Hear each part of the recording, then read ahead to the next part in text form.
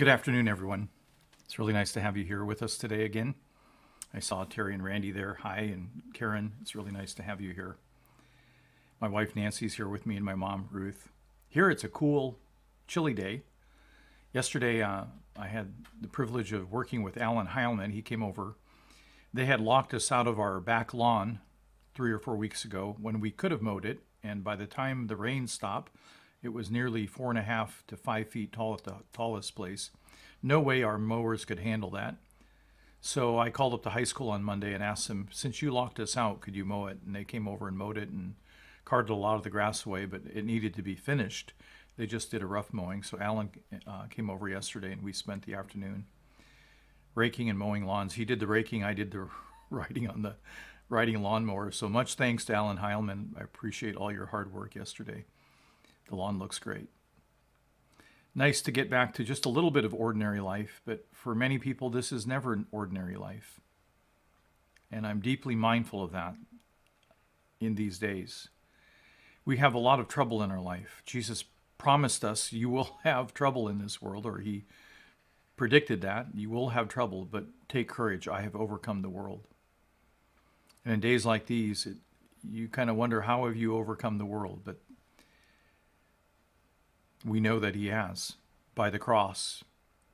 He's put away the rule of the demonic forces and Satan. By the cross, he's forgiven us, and by the cross, he's offered the gift of eternal life to whoever would believe in him. It's an open inv- invitation. Let's begin with prayer today.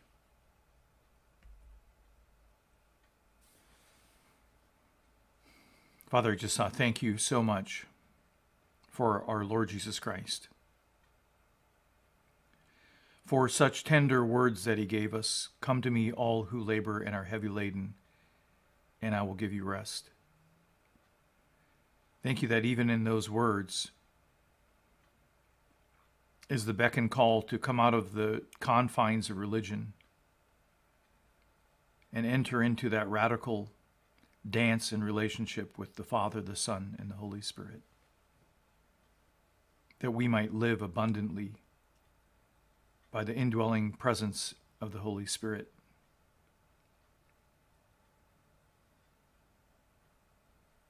Father, I pray for the worldwide church that you would be guiding us, that we would be listening to your voice, both through Scripture, but in that inward witness that you give us, that we would know as a community your clear direction in who you would have us be, and then out of that, what you would have us do. Father, most of all, we need your Spirit in these days. We need a fresh outpouring every day of your Holy Spirit. So today I pray that you would fill us with an extraordinary and great measure of your Spirit. I thank you for those wonderful words in Luke 11 that says, If you who are evil, speaking of us, know how to give good gifts to your children, how much more? How much more will the Heavenly Father give the Holy Spirit to those who ask? In the contrast of you who are perfect in every way, and we whose lives has, have been corrupted by such evil in that contrast, yes, we love to give good gifts to our children, but Father, you are sitting on the edge of your seat at every moment. And those verses, those words, keep asking, you, you will receive. Keep knocking, and or keep seeking, you will find. Keep knocking, and the door will be open to you. Gain entirely new meaning that we keep asking for your Holy Spirit. We keep seeking the things of the Spirit we keep knocking for the doors that the Holy Spirit would open to us. And every time you promised us that you will answer. So today, Lord, we continue to ask for your Holy Spirit. We are here to seek the things of the Spirit, the guidance of the Spirit, the counsel of the Spirit, the fruit of the Spirit, the gifts of the Spirit, the wisdom of the Spirit. We come knocking at your door, Lord, that the Holy Spirit would open up the doors in our day that you would have open to us. That we might not miss any of the good works which you have prepared beforehand, that we might walk in them. I pray that you would give us eyes to, today to see those good works in our life. Maybe a phone call, maybe a private message, maybe a hug, maybe a listening ear instead of a speaking mouth.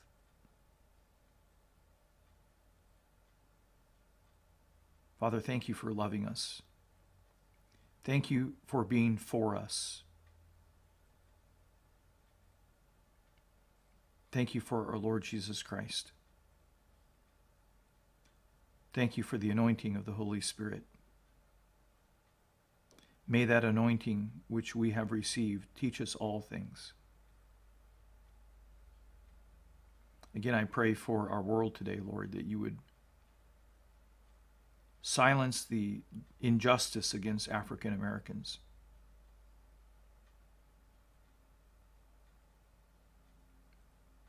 That you would hold our nation to account, not for, for that injustice, Lord, and for all the other injustices that we continue to pile up. But in this day and in this week and in this time, Father, we pray that you would right the injustice against our African American brothers and sisters and against people of color.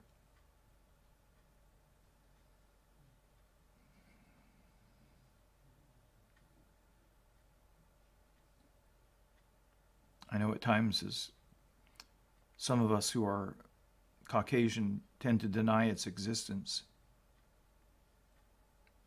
the existence that African Americans and people of color of color are treated differently. But Father, I've seen it, experienced it firsthand over and over again. So, Father, we, we pray that you would bring us to our knees. We pray that you would forgive us as a nation.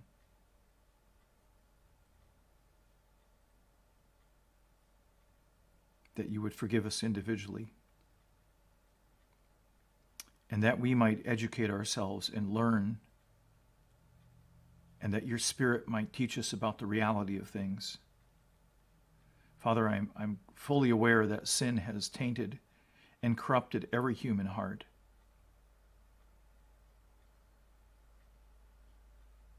And our only path out is our Lord Jesus Christ what he did for us on the cross, how he saved us through the resurrection, how he, through his ascension and the giving of his blood in the real temple, enabled the Father to send us the Holy Spirit by which our lives are being transformed even now into the very image of Christ from one degree of glory to another.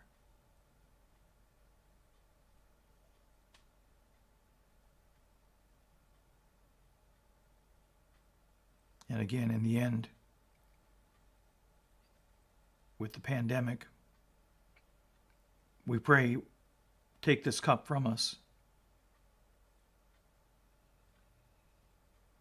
Yet being mindful of the good work you do through harsh, harsh circumstances, through the hard times, the deepest blessings seem to always come from the most difficult of times. Being mindful of that, Lord, we pray that your will would be done, not ours. Father, thank you for the rest and the peace that comes when we allow you and ask you that your will would be done in our lives. May we surrender. May we acquiesce. May we live with a thousand yeses on our lips Yes to the Father. Yes to the Son. Yes to the Holy Spirit. Help us not to be stiff necked, always resisting the Holy Spirit. Help us to come with open hearts, empty hands, Thank you that we come with cleansed souls and cleansed hearts by, by the blood of Jesus Christ.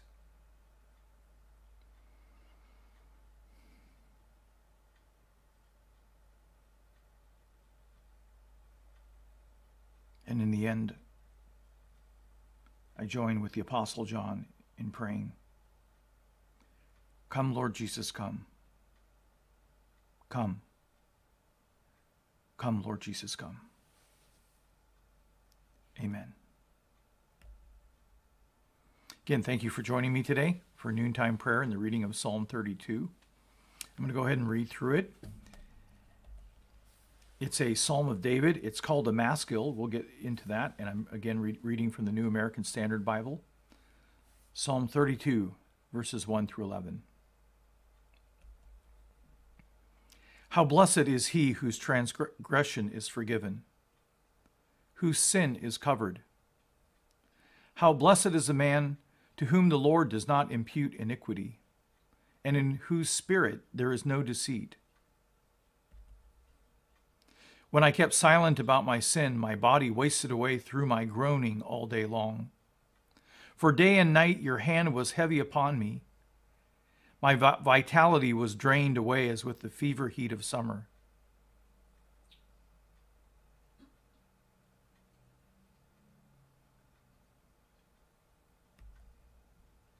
I acknowledged my sin to you, and my iniquity I did not hide.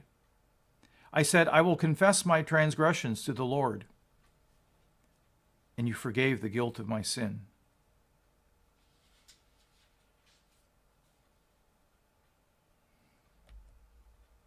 Therefore, let everyone who is godly pray to you in a time when you may be found. Surely, in a flood of great waters, they will not reach him. You are my hiding place. You preserve me from trouble. You surround me with songs of deliverance.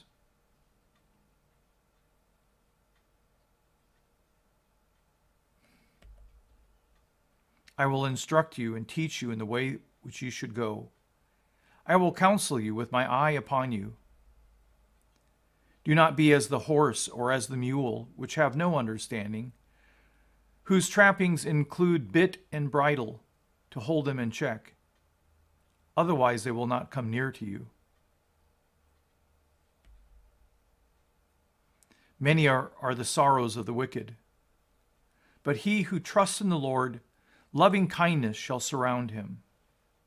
Be glad in the Lord and rejoice, you righteous ones, and shout for joy, all you who are upright in heart. So we begin Psalm 32. Again, it's a psalm of David attributed in the Hebrew text and in the Septuagint to David. It's called a maskil, and there's not any clear certainty of what that means, but there's some thoughts on it. We know what the word can mean. There's two directions we can go with it. A maskil is to instruct, to give instruction. That's the very thing this psalm does. There's about eight or nine of these psalms scattered throughout the 150 psalms, uh, a maskil. Or it can be a sung meditation, still with that idea of meditating on truth and being instructed by truth. And now we get to the actual body of the, the psalm. How blessed is he whose transgression is forgiven, whose sin is covered. How blessed is the man to whom the Lord does not impute iniquity, and in whose spirit there is no deceit. So there's a very interesting thing about this, the, these two verses that I didn't notice at first. But there are three words for sin transgression, sin, and iniquity. And so transgression is a word that means rebellion against God. And in the circumstance of David and the people of Israel, it would be rebellion against his law, transgressing his law, going beyond the boundaries of the law. The transgression is similar to the idea of trespass. You are trespassing the boundaries of the law to transgress them. And then you have the word sin, and that's a more general term. And it comes from an old Hebrew word that was an archery term that meant to fall short of the, of the target, to fall short of the mark. So oftentimes we would think, and I would assume that David and the Hebrew people would think that to fall short, to miss the mark, was to fall short of the law. But there's a much more ancient idea than falling short of the law that we find in Genesis chapter 2 and 3.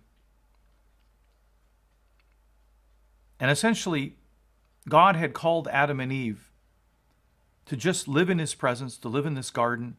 Everything they needed was provided for them. He gave them only one command that they were not to do, everything else was permissible.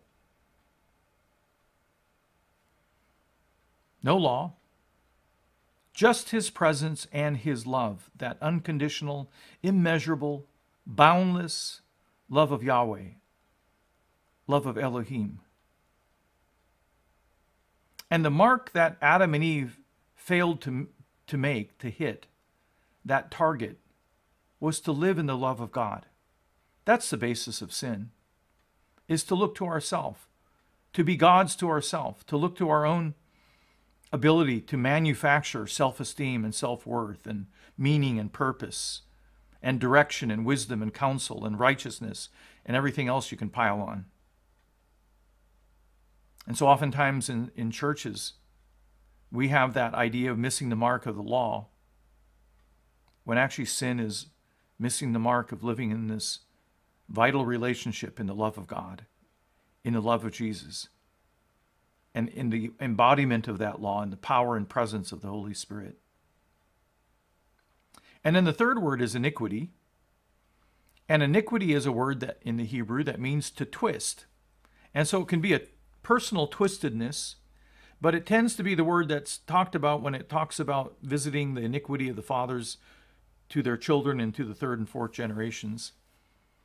And so oftentimes it has a group connotation, a group meaning to it. Iniquity is our family sin.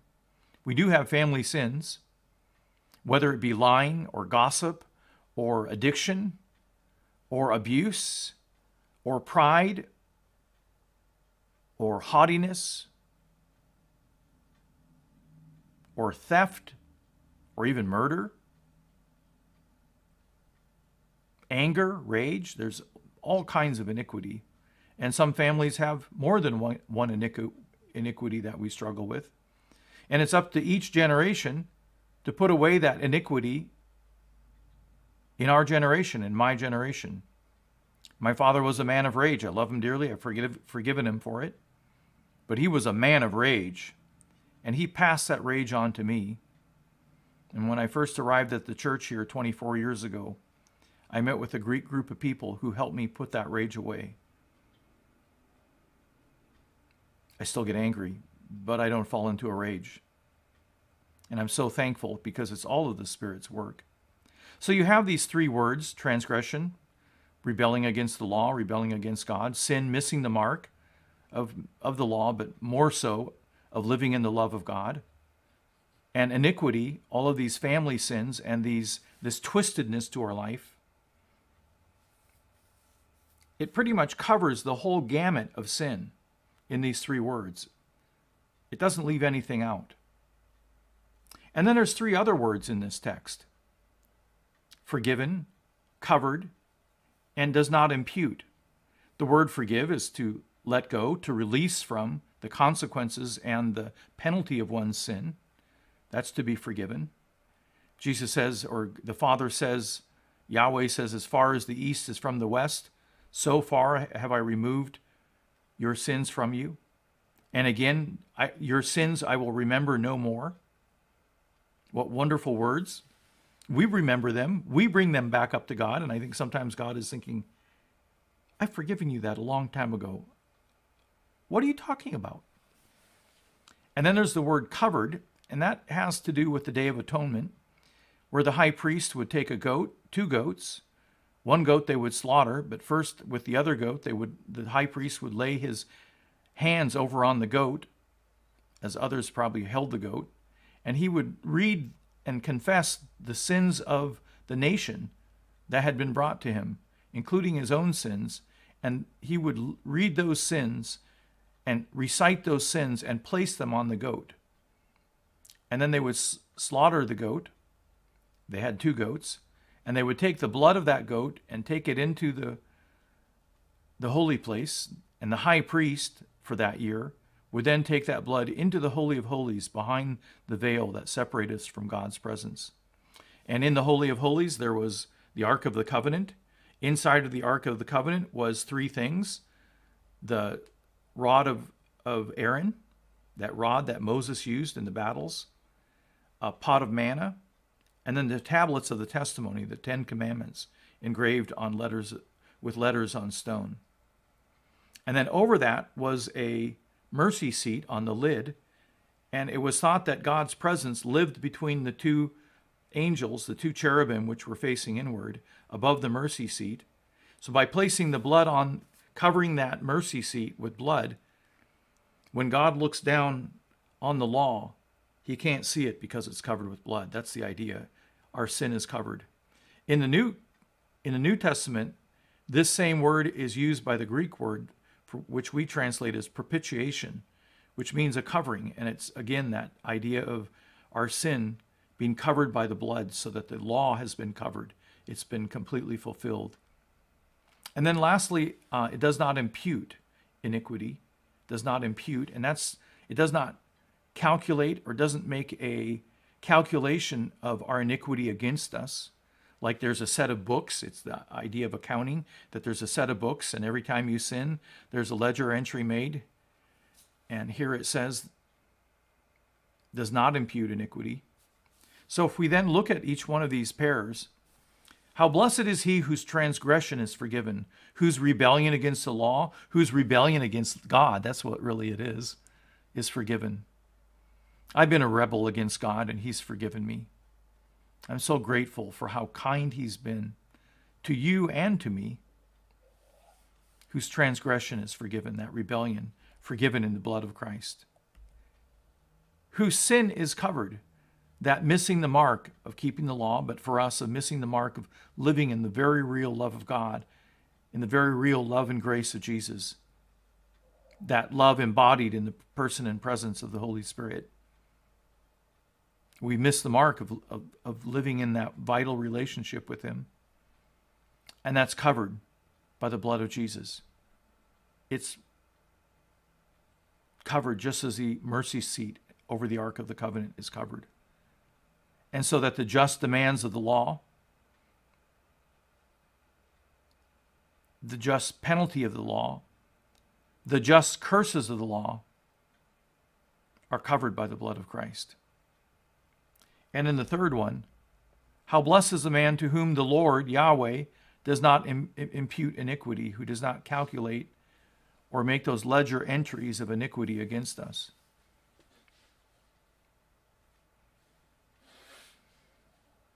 I know in my case, we've had our family iniquity, and I pray that the Lord would reveal them to me, and then that the Holy Spirit would put them to death in me. I'm so thankful for the Holy Spirit's work. Where we cannot some well where, where we cannot put to death by our flesh because our flesh is corrupt. We can always ask the Holy Spirit to come and put things to death in us. And our job is to surrender to his work. So, putting it all together, this whole covering, this whole forgiveness of all of our sin, again, those three words, transgression, sin, and iniquity, cover the whole gamut of our sin, of the world's sin. How blessed is he, how blessed is she, whose transgression is forgiven, whose sin is covered. How blessed is the person to whom the Lord does not impute iniquity.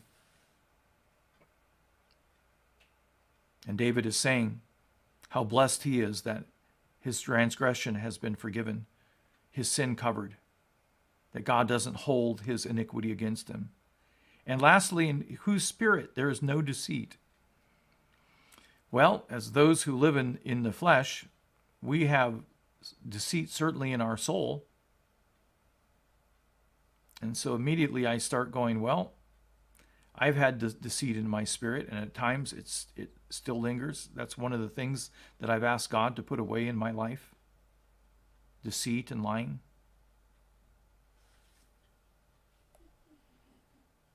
Moving on in the psalm, we get to Psalm verses Psalm 32 verses 3 and 4 and it says, "When I kept silent about my sin, My body wasted away th- through my groaning all day long. For day and night your hand was heavy upon me. but My vitality was drained away as with the fever heat of summer. And then there's that word Selah, which we're pretty sure that it means pause and meditate on what's been said. So you'll see me when I come to that word, I just pause and think about what's been said. Doesn't need to be a short pause either. We can actually meditate on what these words have said.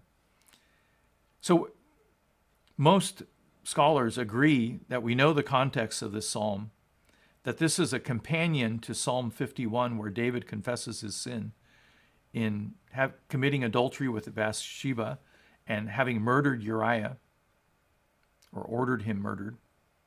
And uh, the scholars believe that this was written after Psalm 51. Psalm 51 was pro- probably written right on the heels of David's sin. And this was written sometime after when David had had time to reflect on things and to understand how gracious God had been. And so that he could then in turn instruct those who were listening to him in what he had learned out of his grievous sin. So when he says, When I kept silent about my sin, that sin is in the story of Uriah and Bathsheba. And so again, I've read this story before in when it came up in a psalm, but I'm going to read it again because each of these are independent of each other. And so I want to read that whole story again. The story, the event, the account of the fall of David and his committing adultery with, with Bathsheba. It's found in 2 Samuel chapter 11 verse 1 through chapter 12 verse 15. Then it happened in the spring at the time when the kings go out to battle that David sent Joab and his servants with him and all Israel. And they destroyed the sons of Ammon and besieged Rabbah. But David stayed at Jerusalem. Notice it says when the kings go out to battle, this was a time for David to be with his troops. Instead, he lingers in Jerusalem. Doesn't tell us why, but he's basically on holiday, as I said last time. Now, when evening came, David arose from his bed and walked around on the roof of the king's house. He shouldn't have been laying in the comfort of his bed. He shouldn't have been able to walk around on the king's house. He should have been with his troops. And from the roof, he saw a woman bathing, and the woman was beautiful in appearance. And so he saw this naked woman bathing on her roof. He shouldn't have been looking in the first place. When he saw her, he should have immediately looked away. Apparently, he didn't. So David sent and inquired about the woman. He's already bearing sin in his heart by his thinking and his lust. And one said, Is this not Bathsheba, the daughter of Eliam, the daughter of Uriah the Hittite? David sent messengers and took her. And when she came, he lay with her. And when she had purified herself from her uncleanliness, she returned to her house. Notice what it says David sent messengers and took her. You didn't refuse the king, you didn't refuse the king's messengers. Essentially, this is a rape in the, in the sense of him being in power and her having no power. He lay with her, and when she had purified herself from her uncleanliness, she returned to her house. There was a ritual they would undergo. I think it was a seven day ritual, if I remember, so she was there for a while. David's committed adultery by force, even a rape.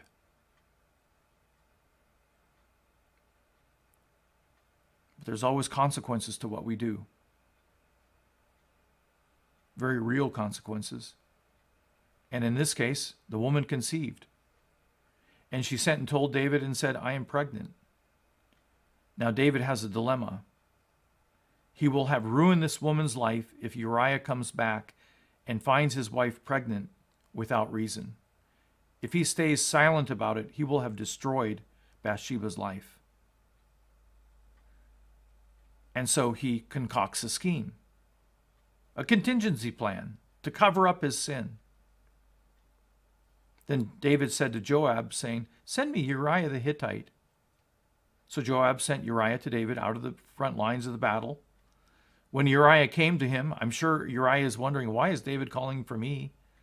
I'm just one of the soldiers. I'm a Hittite. Uh, he was a foreigner. He was from another nation. David, but fighting for the armies of Israel. David asked concerning the welfare of Joab and the people in the state of the war. So David makes it sound like he's just inquiring of him to get a report about how the war is going. Then David said to Uriah, Go down to your house and wash your feet. With the idea that once Uriah goes to his house, he will want to sleep with his wife because he's been away. And all of us men know that longing. And Uriah went out, out of the king's house, and a present from the king was sent after him. So now we have bribery heaped on top of it. But Uriah slept at the door of the king's house and with all the servants of, of his lord, and did not go down to his house. David was staying away from the battle, lounging on the rooftop, sleeping with other men's wives, while Uriah had the integrity not to go to his wife because none of his fellow soldiers could go. Now, when they told David, saying Uriah did not go down to his house, David said to Uriah, Have you not come from a journey? Why did you not go down to your house? I brought you home. You can, you can enjoy being at home with your wife. Uriah said to David, The ark and Israel and Judah are staying in temporary shelters. The ark was yet in a tent. And Israel and Judah were, were still fighting the battles to gain control of the land away from the Canaanites at the time by God's instruction. The ark and Israel and Judah are staying in temporary shelters, and my lord Joab and the servants of the Lord are camping in the open field. They're in the midst of the battle. Shall I then go to my house to eat and drink and to lie with my wife? What a contrast between this man who says, Look at all of my compatriots are out in the battlefield. Israel is living in tents. How can I do this thing of going to my own house and sleeping with my wife, lying with her? When that's exactly what David is doing.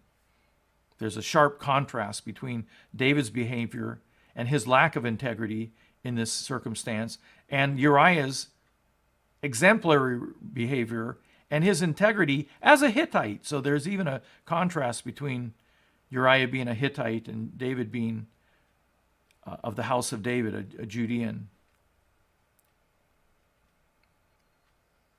By your life and the life of your soul, I will not do this thing. He swears by David's life that he will not do this thing.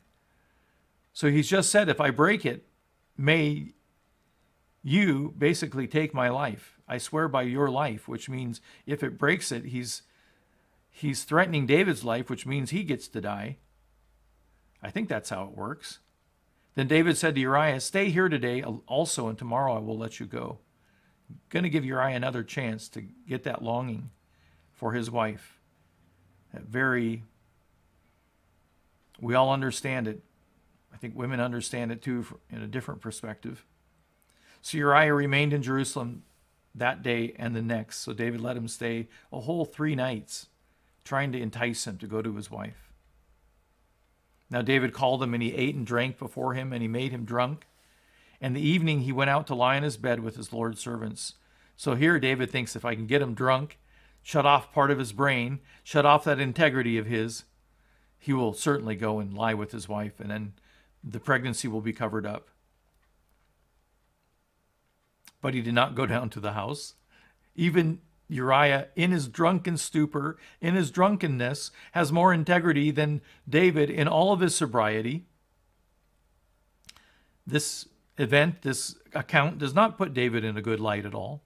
And we get worse. It gets worse. Now in the morning, David wrote a letter to Joab and sent it to the hand of Uriah. This is where it gets shockingly evil. He had written in the letter saying, Place Uriah in the front line of the fiercest battle and withdraw from him so that he may be struck down and die. So it was as Joab kept watch on the city that he put Uriah at the place where he knew they were valiant men. The men of the city went out and fought against Joab, and some of the people among David's servants fell, and Uriah the Hittite also died. So he didn't have people withdraw, or did he? I think he put them with the valiant men at the front lines, and as a result, Uriah died. Joab shows more integrity than David. Then Joab sent and reported to David all the events of the war. He charged the messenger, saying, When you have finished telling all the events of the war of, to the king, and if it happens that the king's wrath rises and he says to you, Why did you go so near to the city to fight? Did you not know they would shoot from the wall? Who struck down Abimelech, the son of Jerubbesheth? Did not a woman throw an upper millstone on him from the wall so that he died at Thebez? Why did you go so near the wall? Then you shall say, Your servant Uriah the Hittite is dead also. So jo- Joab makes it, concocts his story so that he doesn't reveal David's sin to anyone. Joab is a very lo- loyal general. Doesn't ask why, just does it. So the messenger departed and came and reported to David all that Joab has set, sent him to tell. The messenger said to David, The men prevailed against us and came out against us in the field, and we pressed them as far as the entrance of the gate. Now, maybe that's what really happened. We don't know. Was it archers from the wall? Did the men come out of the city? We really don't know. It sounds like this may be, be the truth of it, but no, we know that actually Joab had put Uriah in with the valiant men near the, near the city. Moreover, the archers shot at the servants from the wall. So it was the archers. So some of the king's servants are dead, and your servant Uriah the Hittite is also dead. Now David has escaped. Uriah finding out about the pregnancy, he's escaped, supposedly, he thinks he's escaped the consequences of his sin. Then David sent to the messenger, Thus you shall say to Joab, Do not let this thing displease you, for the sword devours one as well as another. Make your battle against the city stronger and overthrow it, and so encourage him. Now, when the wife of Uriah heard that Uriah, her husband, was dead, she mourned for her husband. I wonder if she had any inkling that David had done this. You wonder if there was ever any inkling in her life that David had done this. She's going to find out later because the whole court finds out when Nathan comes before David. When the time of mourning was over, David sent and brought her into his house and she became his wife. Then she bore him a son. But the thing that David had done was evil in the sight of the Lord. Let's see, let's calculate what he had done.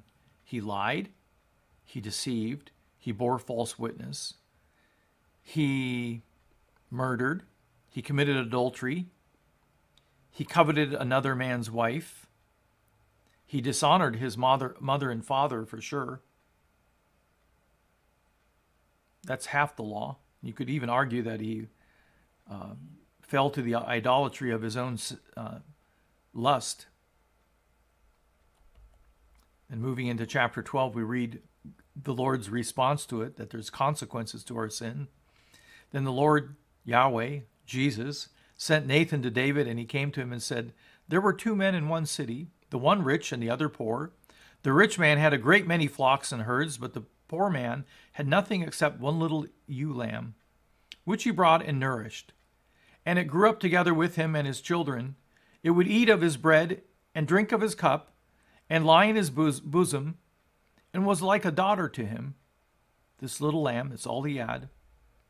Now a tra- traveler came to the rich man, and he was unwilling to take from his own flock or his own herd to prepare for the wayfarer who had come to him. Rather, he took the poor man's ewe lamb and prepared it for the man who had come to him. It's getting that by this time David had concubines and more than one wife. Then David's anger burned greatly against the man, and he said to Nathan, As the Lord lives, surely the man who has done this deserves to die.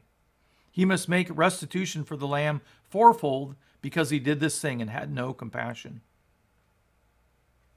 When we sin, sometimes we are then blinded to our own sin and what we've done. Nathan then said to David, You are the man. Thus says the Lord God of Israel It is I who anointed you king over Israel, and it is I who delivered you from the hand of Saul.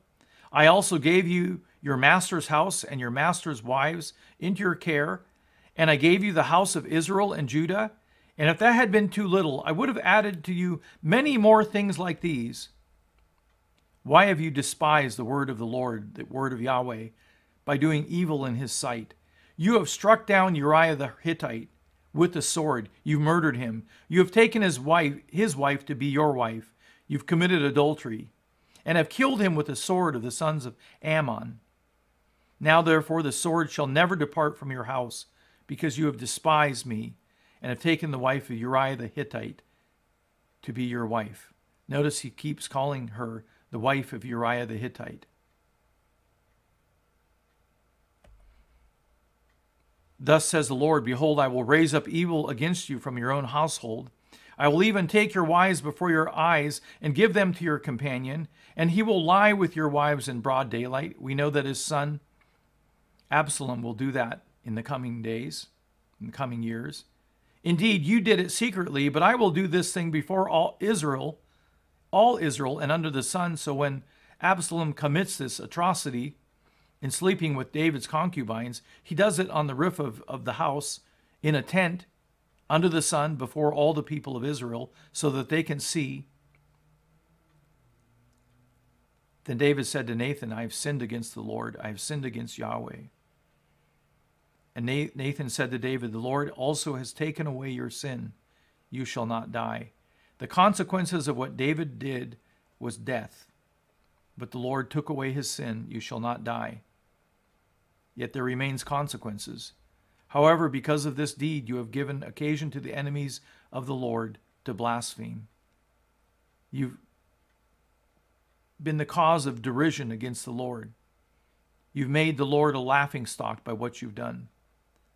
The child also that is born to you shall surely die.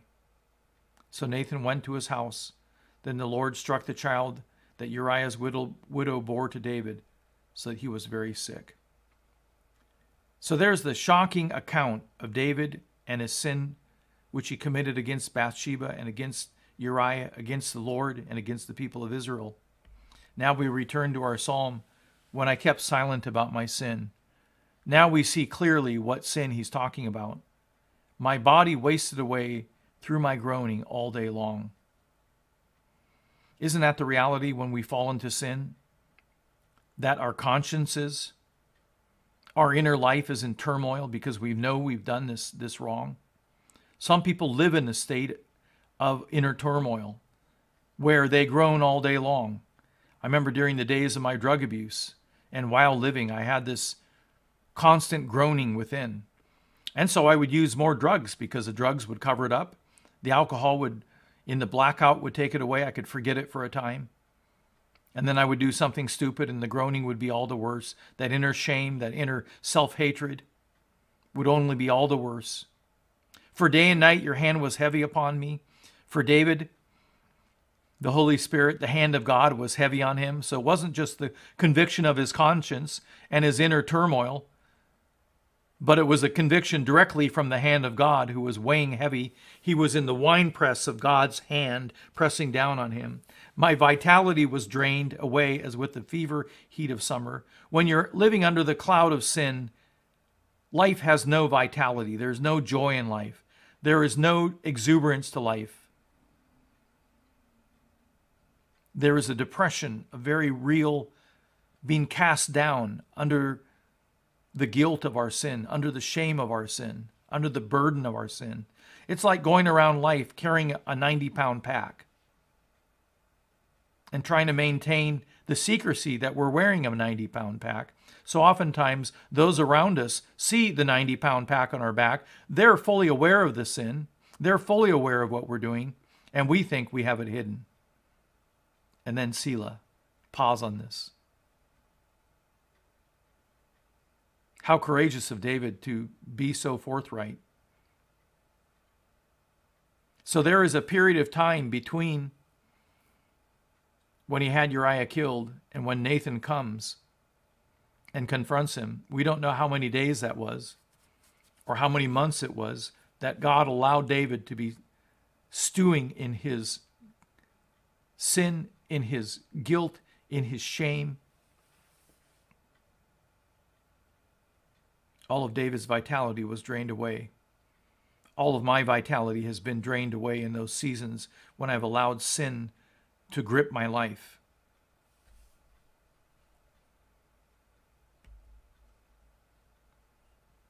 I acknowledge my sin to you. This is the longest verse in the psalm, and this is kind of the heart of the psalm. I acknowledge my sin to you. I owned up to it. I said, God, that was sin. I did it. And my iniquity I did not hide. The twistedness of my life, this perversity that I have allowed to happen, this murder. I said, I will confess my transgressions to the Lord. That rebellion against the law and that rebellion against the Lord. He had rebelled against the law in committing adultery. He had re- rebelled against the law in coveting his neighbor's wife. He had rebelled against the law in murdering Uriah and then lying about it or covering it up. And you forgave the guilt of my sin. And so it begins with this idea of I acknowledge my sin to you. We talk about confession a lot in the church, that we need to be confessing our sins continually. I think we've turned that term into a religious term. The, the Greek word for confess means to say the same thing as. God says that's sin, and I go, no, it's not. God says that's sin, Grant. No, no, it's not. I, I, I'm doing not quite fine in it. It's a lot of fun until the bondage takes over, until the guilt takes over, until the shame takes over. Okay, Lord, I agree with you. That's sin. That's confession. I acknowledge my sin to you. And notice in this verse, we have sin, iniquity, and transgression, the fullness, the completeness of our sin, of David's sin. That iniquity, that twistedness, that sin, that failure to hit the mark of keeping the law for David, but living in the love of God for all of us. And I will confess my transgressions. There's that word confess. It means, again, to acknowledge to God, to confess to God. It's we confess things. We have verbal confessions. I confess the Lord Jesus Christ. I say, He is mine. I have entrusted my life to Him. He is my Lord and my Savior. He is my God and my Savior. That's confession. And in the same way, when we confess our sins, it's acknowledging it, confessing it to the Lord, is, is saying, I agree, that sin. I agree with you, that sin. And then these profound words, and you forgave the guilt of my sin. You removed the guilt from me, so I am guiltless. Herein is much instruction for us. Ponder this. We move on. Therefore, let everyone who is godly pray to you in a time when you may be found. Surely in, in, in, a flood of great waters they will not reach him. Therefore, let everyone who is godly pray to you in a, in a time when you may be found. And the ones who are godly within the context of David and the Hebrew people are those who follow the law. And yet, herein, David had not been godly. He had been anything but godly until he confessed his sin and the Lord had taken away his, the guilt of his sin. And what he's getting at, we all fall to sin. And there's a flood coming. That flood is going back to Genesis and the judgment of God upon sin through the flood. Surely in a flood of great waters they will not reach him. And so he's using that illusion. We know that God promised that he will never flood the world again. But he's never promised that he will not judge our lives, that he will not discipline us, that he will not bring a sense of hardship into our lives until we get that we're in sin and confess it to Him, acknowledge it to Him, say the same thing as Him. Yeah, Lord, that's sin.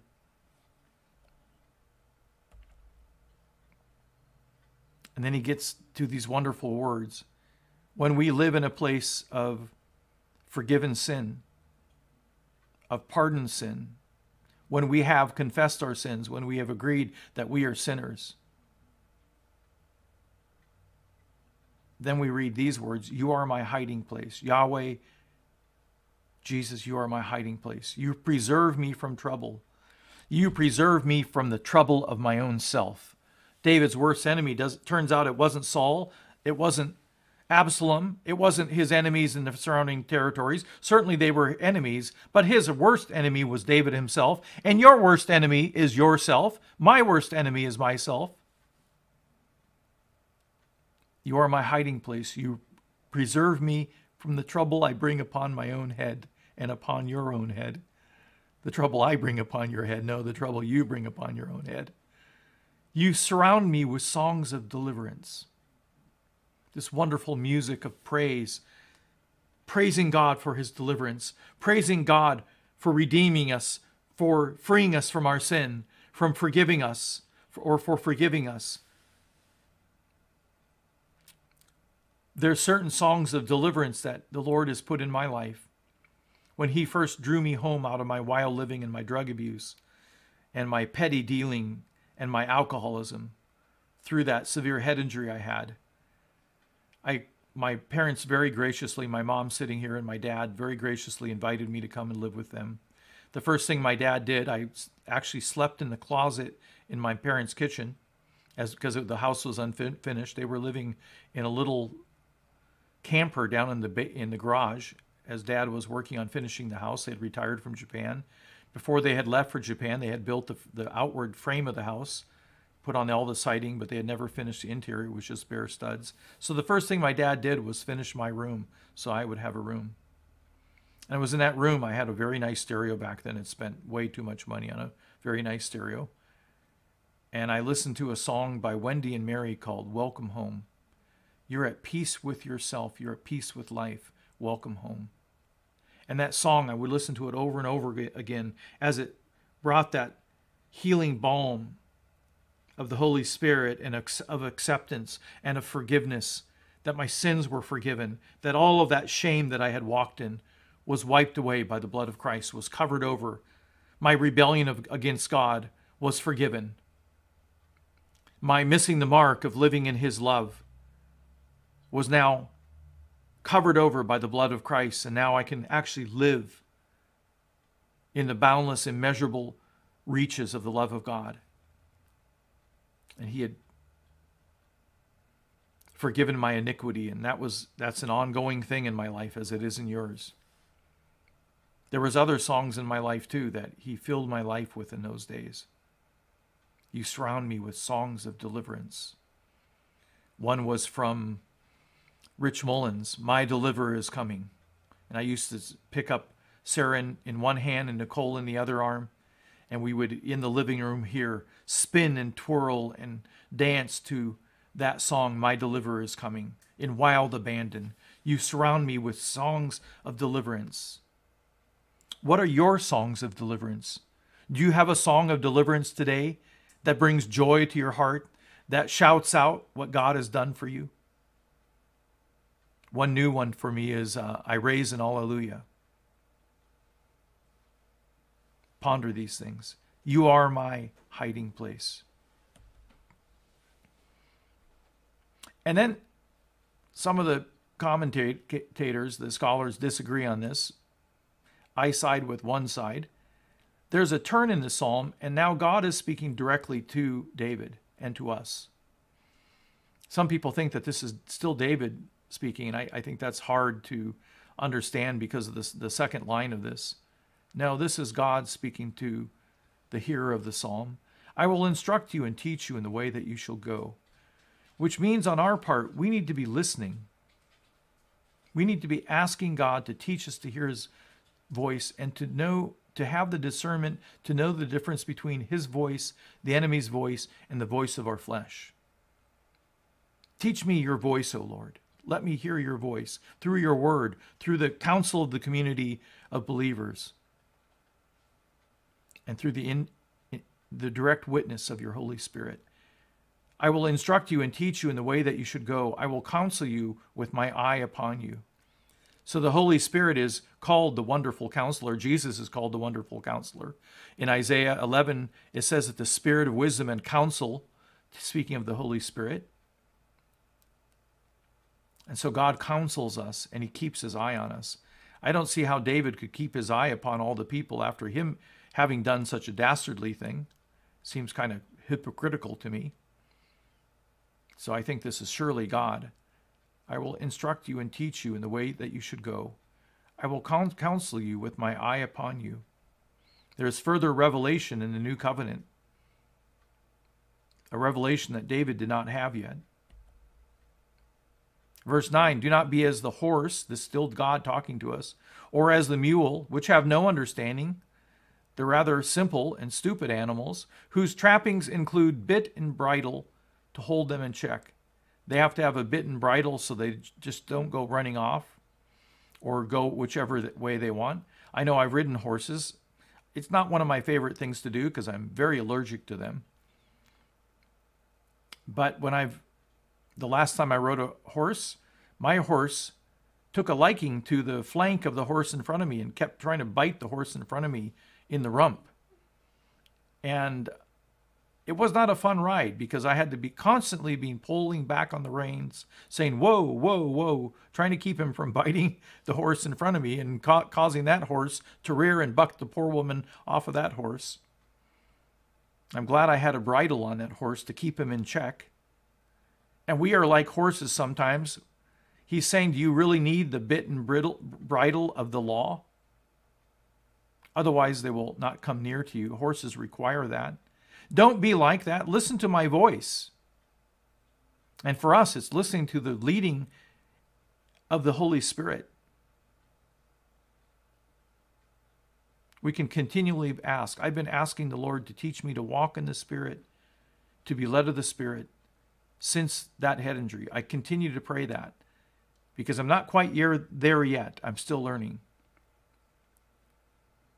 And I've been teaching him to clarify his voice that my, I may hear his voice for years. And I continue to pray that prayer also. So he says, Don't be like a stubborn mule or a stubborn horse who needs a bit and bridle to hold them in check. And then the last two verses Many are the sorrows of the wicked. Many are the sorrows of the wicked because sin always has consequences. Just like it did in David's life, he had the groaning all day long because of his guilt and his shame. He had the hand of God heavy on him. And then he had the sorrow of the consequences of, of his sin, of losing the baby that Bathsheba bore to him. But in contrast to the sorrows of the wicked, but he who trusts in Yahweh, in the Lord, loving kindness shall surround him. And that loving kindness is that Hesed, covenant love, shall surround us. We have Hesed love in the new covenant. It's called the grace and unconditional love of Jesus. Be glad in the Lord and rejoice, you righteous ones. And shout for joy, all of you who are upright in heart. I have a little bit difficulty in hearing these words because David was anything but righteous in his actions with Uriah and Bathsheba. And shout for joy, all you who are upright in heart. So all I can say is David has been made righteous. He has been made upright by God taking away the guilt of his sin. And so those opening words in Psalm 32, verses 1 and 2, Paul actually quotes those ver, uh, verses in Romans chapter 4, verses 6 and 7. I'm not going to go there because you would have to uh, unpack the entire argument of Romans to understand it. But basically, Paul uses this psalm to uphold justification by faith, not by the law. And if you read through it, you don't need a, a bit and bridle. That's the law. One of my favorite teachers, Malcolm Smith, says, you know, giving people the law is just like putting a muzzle on a dog. You can give them all kinds of rules, even the rules of our own making.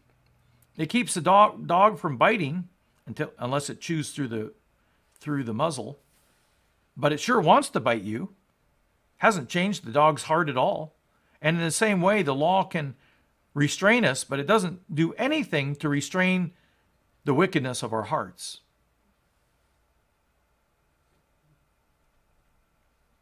So there you have Psalm 30, 32. But I want to take just a, a, brief moment to look at a couple texts in, in the New Covenant to understand exactly how that righteousness, that forgiveness is wrought in our lives.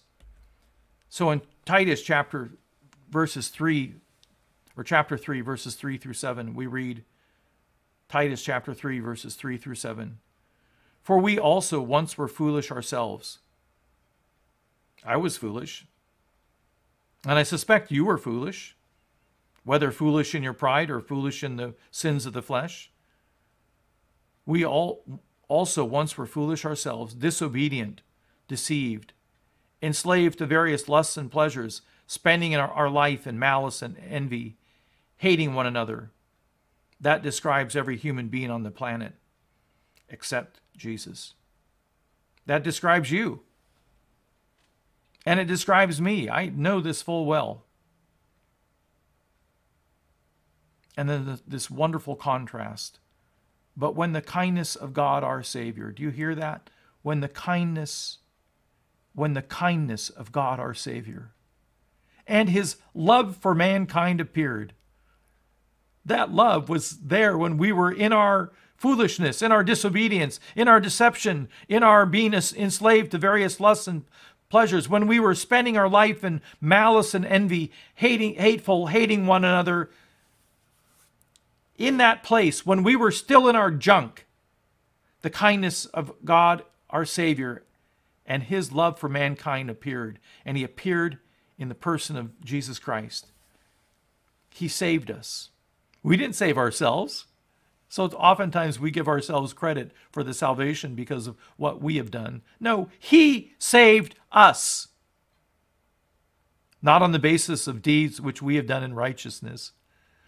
And so back in Psalm 32, it's not even David would say it's not his deeds done in righteousness because his, his deeds were anything but righteous, not on the basis of, basis of deeds which we have done in righteousness, but according to his mercy. I've always, I, have learned a little, it's not really a jingle, but a, a way of remembering what mercy is and what grace is. And they're kind of flip sides of the same coin. But mercy is not giving us what we deserve. You and I deserve hell. We deserve death. We deserve the cross. We deserve the 39 lashes.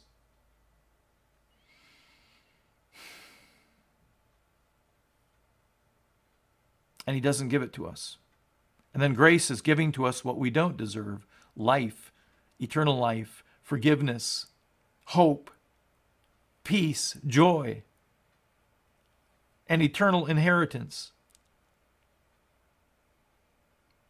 But according to his mercy, by the washing of regeneration and renewing by the Holy Spirit, this is that whole concept of being born anew, being born again. By the washing of regeneration, when we are, that word is the word that we, that can mean from a, a caterpillar becoming a butterfly. It doesn't mean making a life better. It means making a life brand new, starting from the ground up. And renewing by the Holy Spirit, whom He poured out upon us richly through Jesus Christ our Savior. The Holy Spirit has already been poured out on us richly because God made us alive in order that He could pour out His Holy Spirit upon us richly through Jesus Christ our Savior. But it's something we continue to ask for so that being justified by his grace, by this undeserved, unmerited, kind, and generous power of God to forgive, save, and transform broken and sinful lives forever, that being justified by his grace, his divine favor, we would be made heirs according to the hope of eternal life. We would be made heirs of the hope of eternal life. You and I are already heirs because of believing in J- Jesus of the hope of eternal life. We've already received it, and yet my body is struggling with cancer. I know some of you are struggling with life threatening Ill- illnesses, and yet we have this deposit of eternal life. One day it will be fully realized. We have it now, and yet this not yetness to it. One day I will have, and you will have brand new bodies, bodies that do not get tired, bodies that do not wear out, bodies that are indestructible. When the perishable puts on the imperishable, we shall be changed in the in the moment, in the twinkling of an eye. And so, herein you see this encapsulation of the entire gospel mercy, grace, justification, regeneration,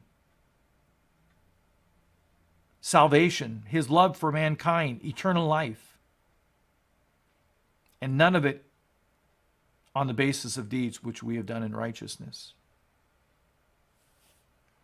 And then three more texts. This is about forgiveness. David has said, How blessed is the man whose sins have been forgiven. In Ephesians 4:32 it says, "Be kind to one another, tender-hearted, forgiving each other." We are to forgive each other, just as God in Christ also has forgiven you. I did a very careful study of the word forgiveness in, in the New Testament, looking at every occurrence of the five words which, which we tra- translate by forgiveness. And what I discovered was prior to the cross, it's so frequently conditional. If you forgive, then you will be forgiven after the cross, that condition never occurs again. And now the condition is reversed. We forgive each other just as God in Christ has forgiven you. He's already forgiven us. We're already completely forgiven. Colossians 3, verses 12 and 13. So, as those who have been chosen of God, holy and beloved, is that how you think of yourself? We're chosen of God. No, I chose him. Don't argue with him. Just accept the fact that God chose you. Thank you, God, for choosing me. Thank you, God, for choosing each person watching today as we freely came to believe and be persuaded that you are the Messiah, that Jesus is the Messiah, that he is the Son of God. So, as those who have been chosen of God, holy and beloved, do you know that you are holy and beloved?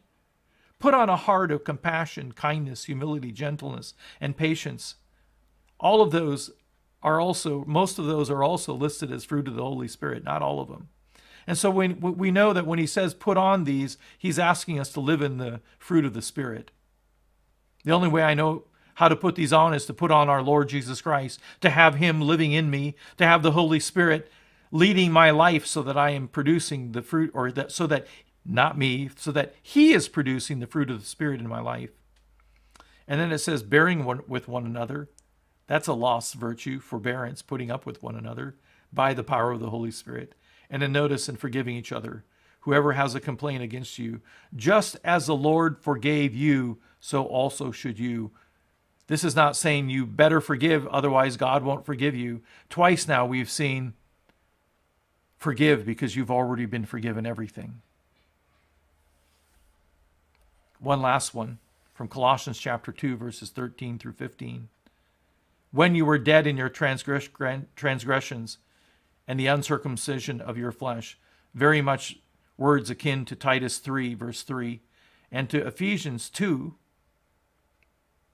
verses 1 through 3. When you were dead in your transgressions and the uncircumcision of your flesh, he made you alive together with Jesus. God made you alive together with Jesus, having forgiven us all the transgressions up until now. All the transgressions that I have remembered to confess, only those. It's not what the scripture says, folks. He made you alive together with him. God made you alive together with Jesus, having forgiven us all our transgressions, all our rebellion against God. And here it's talking about all sin, having canceled out the certificate, certificate of debt consisting of degrees against decrees against us. Literally, that's having canceled out the handwriting consisting of decrees against us. And in Ephesians, when it uses this term decrees against us, it's clearly in Ephesians, Ephesians chapter 2, it's speaking of the law. What was the handwriting against us? The Ten Commandments.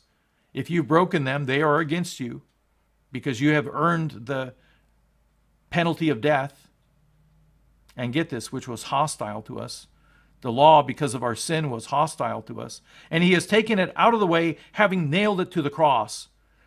Pilate had put king of the Jews, that Jesus was be, being tried for being king of the Jews. What God nailed to the cross as the real reason for why Jesus had to die was all the just requirements of the law, its curse, all the curses listed in Deuteronomy, those 70 some verses of curse, all of the just penalty of the law, which was death, was nailed to the cross of Jesus. And he has taken it out of the way. We are no longer under law, but under grace. Some people will accuse me of antinomianism. No, I'm a reader, a plain reader of Scripture. We're now under the Spirit. Which is better, to have an external law by which we live according to our corrupt flesh? Or is it better to have the author of the law come to live out his life in us and through us? We have this treasure of the ministry of this of the Spirit. We have this treasure of the indwelling Christ in earthen vessels to show that this transcendent power belongs to God and not to us. When he disarmed the rulers and authorities, you realize he's disarmed the demonic hosts. He made a public display of them, having triumphed over them through Jesus. All of our transgressions are, are forgiven. We even sing this in, in the song in the hymn, which is the hymn? Um, not Be Still My Soul. It's the one that was written by the man in Chicago when he lost his family at sea.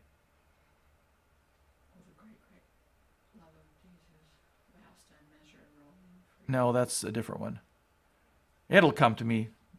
Welcome to Lupron. Yeah, it really does a number on my memory. But it says, not our not the part, not our sin in part, but the whole. It is well with my soul. There we go. It's that song. Read the psalm. It says, not the part, but the whole. I think there is a reality in our life. I lived under, when I was in seminary, and I grew up under this theology that you have to have a short list theology, a short list of sin, because if you let your list of sins get too, too long, you, you could backslide right out of the church, and then you could backslide right out of salvation, right out of eternal life. So I was always afraid.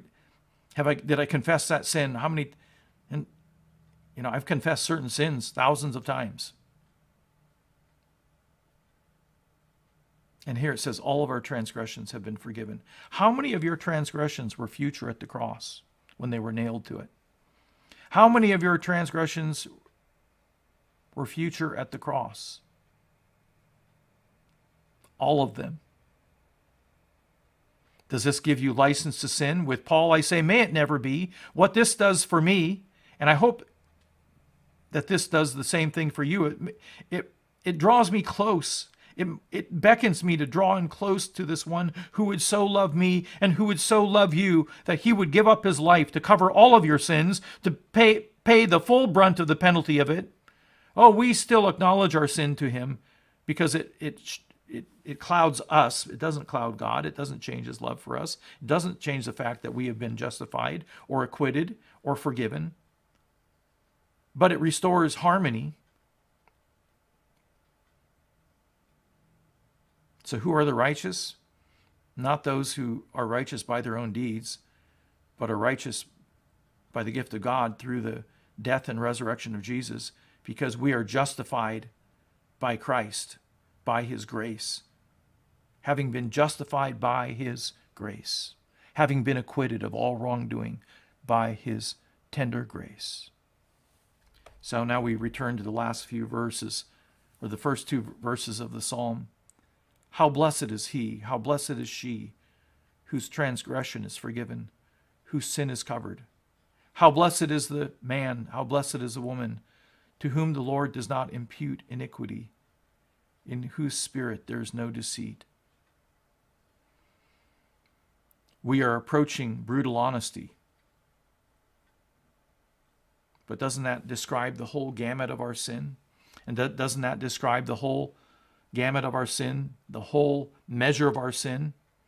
Transgression, sin, and iniquity that was covered by the blood of Christ, that was forgiven in the blood of Christ so that none of our iniquity is ever put to our ledger again. We are forgiven. I suspect that until we receive the fullness of of the pardon. We live under this constant worry and fear that I haven't done enough, that I haven't confessed enough. I pray that today is a day that you apprehend that you have been fully forgiven, that you receive the fullness of your pardon, and that you don't use it as a license to go out and sin. May it never be. Grace never gives us a license to sin. What I've learned is that in my flesh, I can't generate anything. There's no good that dwells in my flesh. There's no good that dwells in your flesh. We are not adequate in ourselves to consider anything our, in ourselves coming from ourselves, but our adequacy is from God. Jesus said, I am the vine, you are the branches. He who abides in me, and I in him. He who abides in me, and I in him. He it is that bears much fruit. She it is that bears much fruit. For apart from me, you can do nothing. Contemplate on those words, Selah. Everything we have, all righteousness, all acts of kindness, even the love that we have, is all gift. Even the faith that we have is said to be measured to us, not of ourselves, it is a gift of God. How blessed is he whose transgression is forgiven whose sin is covered. How blessed is a man to whom the Lord does not impute iniquity, and in whose spirit there is no deceit. Amen. Well, thanks for sticking it out with me. Really appreciate the time you take to, to watch and listen. I hope this has edified your soul. I hope this has built you a little bit stronger in the grace of our Lord Jesus Christ and the knowledge of what he has done for us. And I pray that you have received the fullness of his pardon. You receive it by acknowledging it. It's, it's mine. I'm forgiven. The power of sin is broken in our lives. And one day it will be fully realized. Let's close in prayer. Father, I thank you that we don't live unto ourselves I love these words in Matthew 11 29 when Jesus said, Take my yoke upon you. And we know that First Clement wrote in a letter that that yoke is the yoke of your grace. Take the yoke of my grace upon you and learn from me. For I am gentle and lowly in heart, and you will find rest for your souls. Thank you, Father, that Jesus is a teacher, gentle and lowly in heart, one from whom it's easy to learn who I want to come and sit at his feet, who I'm drawn near to because of his infectious love, his boundless compassion. Thank you that he does not throw away bruised reeds or smoldering wicks, that there's no one beyond the pale of your love and grace, the grace of Jesus. Thank you that you come and beckon us not to live a life independent of you, even though we believed, but a life yoked to your grace, yoked to our Lord Jesus Christ, so that where he goes, we go. Where the Holy Spirit leads us, we follow. I pray that you would keep us all safe. I pray for justice in our society, Lord, by your Spirit. I pray for great revival.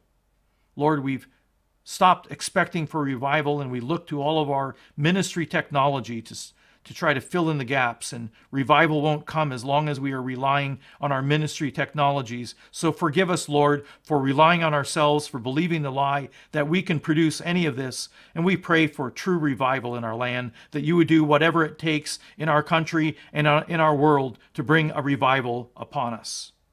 There are naysayers who say, no, it's the end times. There will not be a revival. Well, in every age, we believed we're in the end times, and if that's a defeatist view. And so, Father, we pray for revival. We pray for a great awakening in our cities, in our states, in our nation, in our world, that your Spirit would be poured out in great and extraordinary measure upon us, Lord. We have not because we ask not. So, as one voice, as one church, let us start praying for the Holy Spirit to be poured out in extraordinary measure upon this world, that the conviction of the Holy Spirit might fall upon people, that they might cry out to God for grace. Father, hear our prayer. Hear our heart's longing that we don't want these people all around us, people we love and people we know and people we don't know, who we will learn to love, filled with your love. Bring a great harvest in and prepare us to be the harvesters.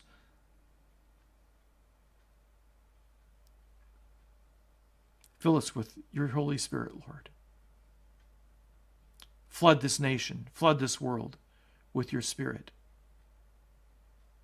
A tsunami of your Spirit, Lord. And I pray this in Jesus' name. Amen. Thanks again for joining me. I won't be back tomorrow. I'm taking, uh, I have my Bible study tonight, our Bible study, our covenant group Bible study at 7 p.m.